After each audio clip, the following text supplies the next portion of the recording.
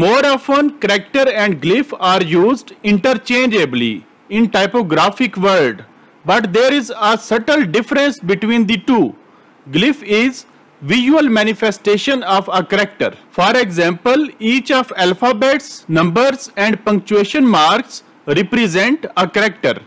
A character can be written in many ways based on stylistic and linguistic needs. Therefore, a font character may consist of one or many glyphs. For example, letter G is written in many styles and therefore many glyphs may represent the letter G. A document on Google Patents website perfectly defines the glyph of a font. A glyph refers to the concrete visual representation of a character. A glyph may represent one character. For example, the lowercase letter a. A glyph may also represent part of a character. For example, the dot in the lowercase letter i. A glyph may also represent a non-printing character. For example, the space character. We can conclude that there can be many glyphs for a single character of a font. You can write your opinion in the comments. You can learn more about font facts and usage tips